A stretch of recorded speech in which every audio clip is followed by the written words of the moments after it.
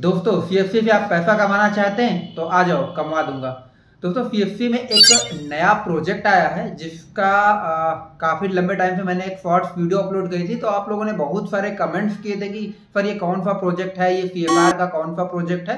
तो आज उसी के डिटेल्स में मेरी ये फुल वीडियो रहने वाली है कि ये कौन सा प्रोजेक्ट है और कौन कौन से स्टेट में ये वर्किंग होने वाली है और वो कौन से डिस्ट्रिक्ट हैं। और ये जो प्रोजेक्ट है, वो काफ़ी अच्छी अर्निंग आप लोग इस पर कर सकते हैं जैसा कि सी का है और वो सी फंडेड है और काफ़ी लाखों में आप इस पर अर्निंग कर सकते हैं पेंटर बना सकते हैं। बहुत सारे ऐसे सर्विसेज़ हैं जो आप उसके अंदर आ, कर सकते हैं। तो काफ़ी बड़े लेवल का प्रोजेक्ट है। अभी ये स्टार्टिंग में कुछ स्टेट पे लॉन्च हुआ तो कौन कौन से स्टेट हैं कौन से डिस्ट्रिक्ट हैं उसके बारे में कितना कमीशन मिलेगा और इस पर वर्किंग कैसे करनी है सी से जो वीएलई भाई है, उनको कैसे रजिस्ट्रेशन करने और कैंप मोड पे जैसे पीएमजी दिफा का हम लोग कैंप करते हैं वैसे इसका भी कैंप करके हम लोग इस पर वर्किंग कर सकते हैं। तो कैसे किसको करना है, ये सारी चीज़ें मैं बताऊँगा। तो दोस्तों, मेरा नाम है जतिन और आप देख रहे हैं सीसी परिवार तो दोस्तों चैनल को सब्सक्राइब कर लें क्योंकि मैं ऐसे ही लेटेस्ट जो प्रोजेक्ट में ऑलरेडी मैं वर्किंग कर रहा होता हूँ वही चीज़ें आपको लेकर के आता हूँ और उन्हीं पे जेनुअन चीज़ें आपको मैं देता हूँ। तो आगे हम लोग चलते हैं अपने वीडियो के टॉपिक पर और आपको स्टेप बाय स्टेप बाय सारी चीज़ें करके दिखाते हैं कि किस तरीके से आप इन पे वर्किंग करेंगे दोस्तों। तो नया प्रोजेक्ट आया है, उसको इस पीडीएफ के माध्यम से हम समझने वाले हैं कि इसमें किस तरीके से क्या वर्किंग होनी है और किस तरीके से यहाँ पे कार्य होना है। तो वीडियो के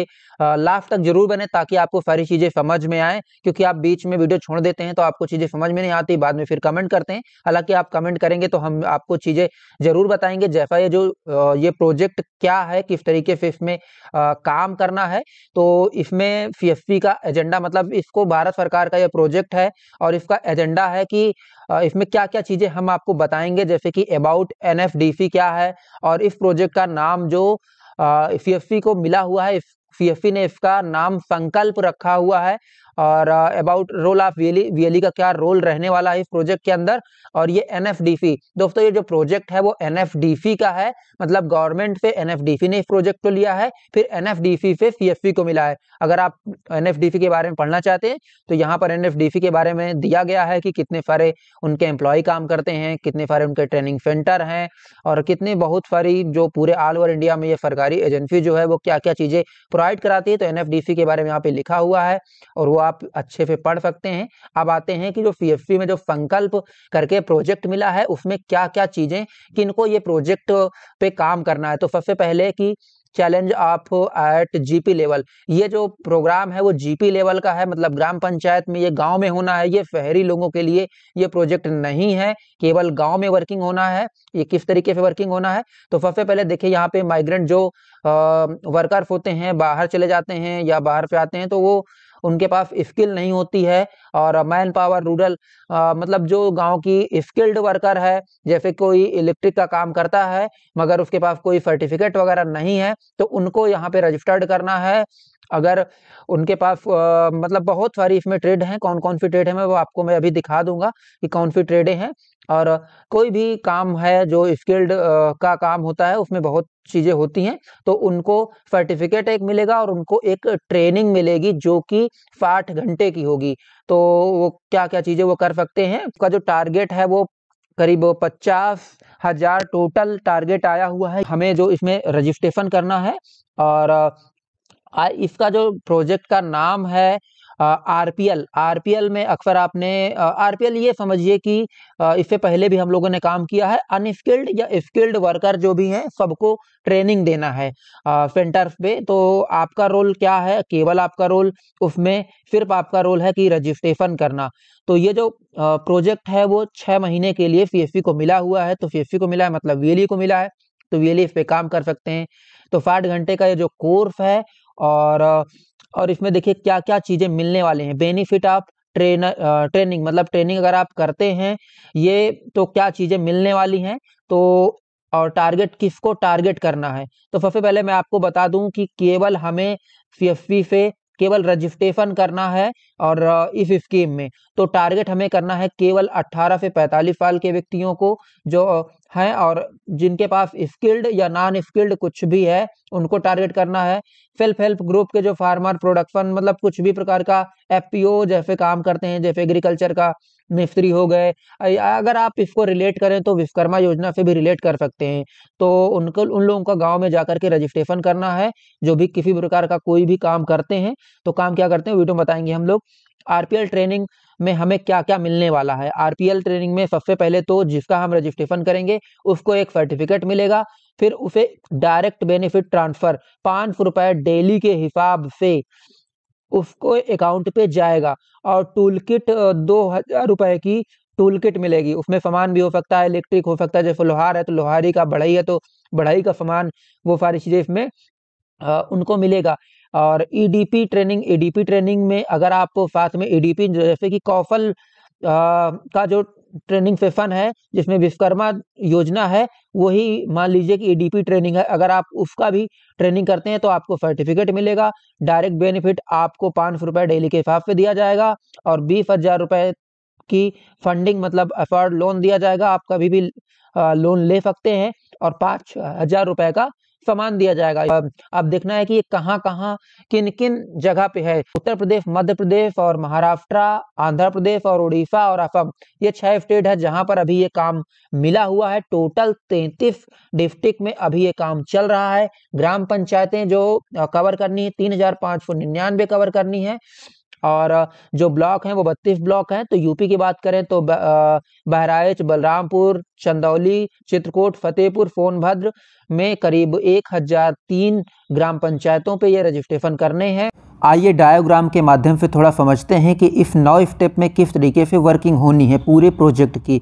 तो फ़र्स्ट स्टेप में सबसे पहले आपको करना है कि अपने ग्राम पंचायत में जाना है। वहाँ पर जो भी पंचायत तो मित्र और प्रधान या सरपंच है, उनसे इस प्रोजेक्ट के बारे में बताना है, उनको समझाना है और उनको कैंप लगाने के लिए एग्री करना है। तो आपका सिर्फ़ काम वहाँ पर केवल है मोबिलाइजिंग करना और उन प्रोजेक्ट के बारे में अवेयरनेस फैलाना और रजिस्ट्रेशन करना, जिस पर आपको एक निश्चित कमीशन दिया जाएगा। उसके बाद आपका चौथा स्टेप ये रहेगा कि आपका जो डाटा है वो एनएफडीसी के पास पहुँचेगा। एनएफडीसी अपने ट्रेनिंग सेंटर पर भेजेगी। तो ट्रेनिंग सेंटर में जैसे ही भेजेगी तो सभी लोगों को यहाँ पर पात्रता नहीं मिलेगी। कुछ लोग छूट जाएँगे। एन एफ़ यहाँ पर फ़िल्टर करेगी कि कौन से व्यक्ति पात्र हैं और आपसे और पंचायत के जो भी पंचायत मित्र और प्रधान होंगे, उनसे इस डाटा को फ़िल्टर करवाया जाएगा कि कौन से व्यक्ति इस प्रोजेक्ट में पात्र हैं। इसके बाद जिन भी व्यक्तियों का सिलेक्शन हो जाएगा, उसको ट्रेनिंग सेंटर में साठ घंटे की ट्रेनिंग के लिए बुलाया जाएगा, जिसमें उनको जो भी प्रोत्साहन राशि है वो प्रदान की जाएगी। और ये जो सेंटर है वो आपको आ, मतलब जो भी व्यक्ति होगा उसको 50 दिन के अंदर अंदर ही आपके ही डिस्ट्रिक्ट में कहीं ना कहीं सेंटर बना करके एनएफडीसी के जो सेंटर्स हैं वहाँ पर बुला करके उनको ट्रेनिंग प्लस सर्टिफिकेशन और उनको जो टूल किट है और उनको जो सर्टिफिकेशन है वो सारी चीज़ें वहाँ पर प्रदान की जाएँगी। इस पीडीएफ में पूरी चीज़ें मैं बाकी ये जो पीडीएफ है मैं आपको दे दूँगा। आप उसे पढ़ सकते हैं और समझ सकते नीचे डिस्क्रिप्शन बॉक्स में रहेगी। तो अब हमें देखना है कि रजिस्ट्रेशन किस तरीके से रजिस्ट्रेशन होंगे। तो सबसे पहले आपको एक प्ले स्टोर या स्किल इंडिया डिजिटल करके ये एक वेबसाइट है, वहाँ पर आप जा करके इसमें रजिस्ट्रेशन करेंगे, अपना रजिस्ट्रेशन। सबसे पहले ये जो रजिस्ट्रेशन है वो कैसे करेंगे? क्योंकि बहुत सारी आपके डिस्ट्रिक्ट में आपको डिस्ट्रिक्ट मैनेजर से बात करनी पड़ेगी, तभी आपकी जो आईडी है वो हाइट लिफ्टिंग के लिए जाएगी। जब हाइट लिफ्टिंग जाएगी, तभी आप इसमें रजिस्टर्ड कर पाएँगे, क्योंकि ये प्रोजेक्ट जो बहुत गिने चुने लोगों को मिला हुआ है तो आप पहले हॉट लिफ्टिंग कराएँगे, उसके बाद आप आएँगे और प्ले स्टोर पे या डायरेक्ट वेबसाइट पे आप रजिस्ट्रेशन करेंगे। रजिस्ट्रेशन करने के लिए आप जैसे ही जाएँगे तो आपको यहाँ पे दो स्टेप खोल, खोलेंगे तो दो स्टेप देखने को मिलेंगे।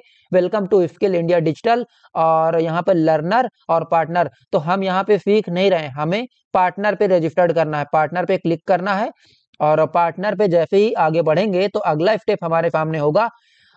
लर्निंग पार्टनर और मोबिलाइजर ट्रेनिंग ट्रेनर पार्टनर तो हम यहाँ पर एक मोबिलाइजर हैं, क्योंकि हम एक वीएलई हैं तो केवल मोबिलाइजिंग का काम कर रहे हैं।